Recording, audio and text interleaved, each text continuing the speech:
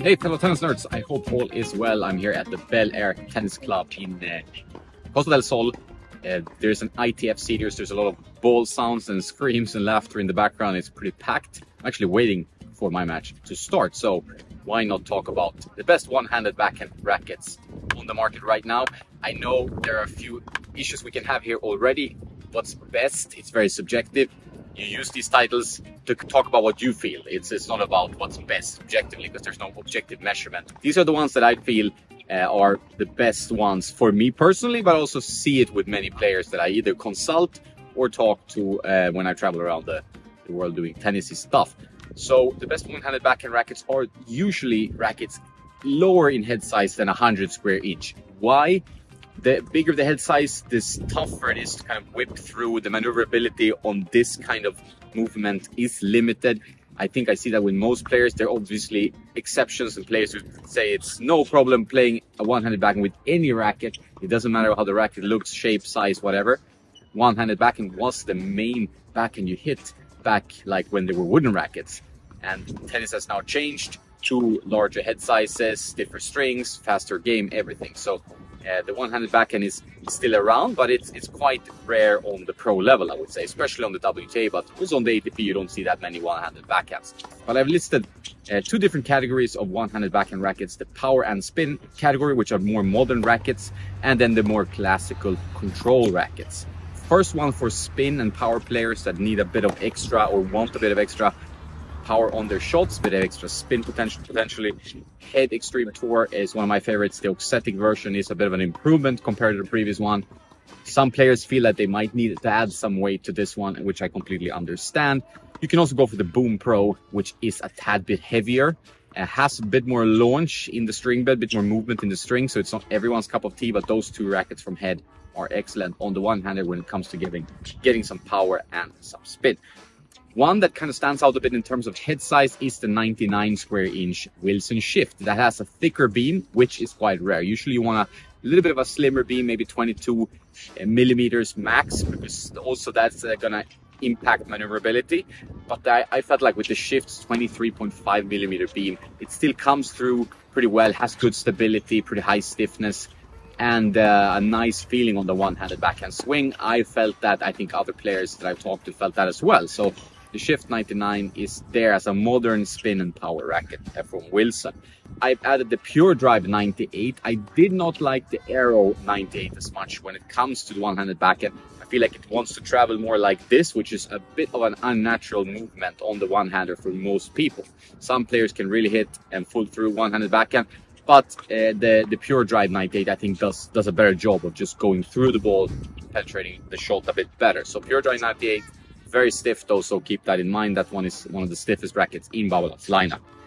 Tecnifibre EGA 298, the EGA signature racket, very nice on the one-hander. Tecnifibre rackets, I do like the grip shape. That's a personal thing, but the EGA is a nice stick on the one-hander. Also lower in weight, so you have some room for modification, or you just have a little bit of an easier maneuverability overall thanks to the low weight.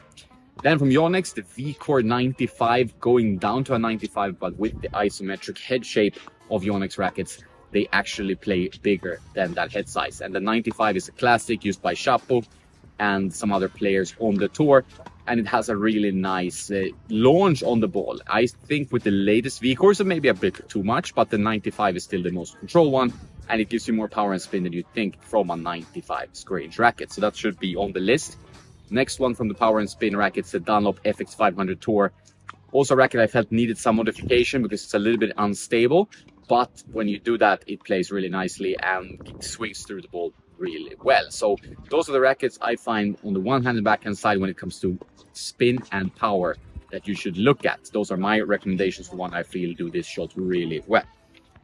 When it comes to control players, more advanced players, you want more precision, you want that more dense string pattern, uh, and maybe even a thinner beam than some of these modern rackets more control and less power. Uh, we have the obvious choice Head Prestige Pro. It's a great frame. It's very demanding though. So if you want something that is lighter there, you can go for the MP Light in the Prestige lineup. But the Prestiges are kind of made for that one-handed backhand, I feel like. And the Prestige Pro is, is a good one for that shot. If you want to go lighter with a head racket, the Radical MP is alongside the, uh, the Prestige MP Light a great choice. Those rackets are kind of similar.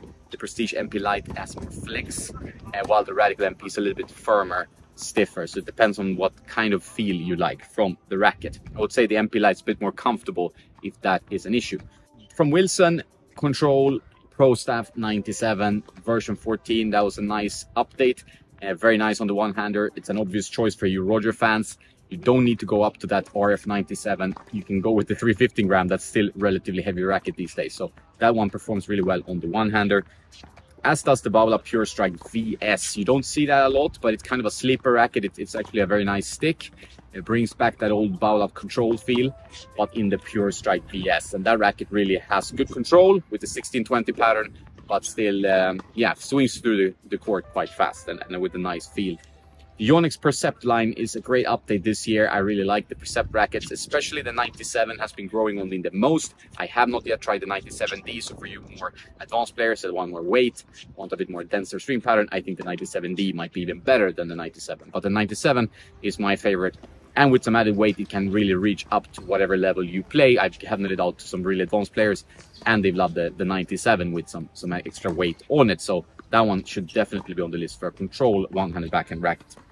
Tecnifibre TF40, another excellent feeling and playing racket. You can choose 1619 or 1820. Feels very whippy and nice on the one-handed backhand and with some excellent control from slightly thinner beam than the EGA and lower stiffness. And last but not least, the Dunlop CX200, uh, used by Felix Mischker, as you might know. And uh, that one is also very nice through the air and more of a control stick, more similar to kind of like this Prestige Pro or Blade and it plays really nicely with some excellent control. Might need some modification for you guys who want more stability, but plays great also in stock form. So those are my favorite one-handed backhand rackets. You can see the list here, and uh, I really like them all for that shot. Uh, depending on if you want control and feel, or if you want more power and more spin, you choose in the list here. Uh, I feel like the, the Pure Drive 98 is a great frame, but it's a bit stiff. For me, I think the Head Extreme Tour would probably be the, my favorite one-handed backhand racket of the list. But then I struggle with it in other aspects personally of like the launch angle and so on. So it's really depending on what you would like. If you're really looking for comfort, uh, which can be important for the one-handed backhand players because you're the one-handed backhand is one of those shots with the serve that has this mo motion that really can put some extra strain on your elbow then I would recommend the Percept 97 is very comfortable, as is the Dunlop CX200, for example. So for more comfort, I would definitely go more towards the control line than the power and spin rackets listed here. That's it for this one-handed backhand video. This was very heavily requested by you guys. So if you have video ideas you want to see, rackets you want me to list, because it's time to update these rackets now and we're looking at the end of 2023, Put your comment below. What kind of video do you want to see? What would help you find the right racket or string for your game? That's all. Have a nice day and don't forget to play some tennis.